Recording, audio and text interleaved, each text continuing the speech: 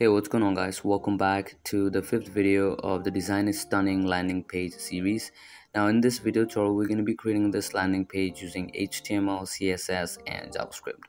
Now for the animations, we're going to be using GSAP as well as scroll triggers since you can see that on scroll we have these animations.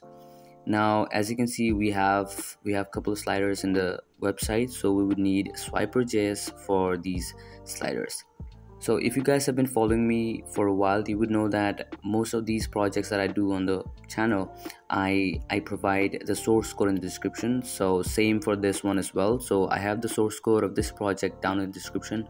So you guys can download play around and use it to your need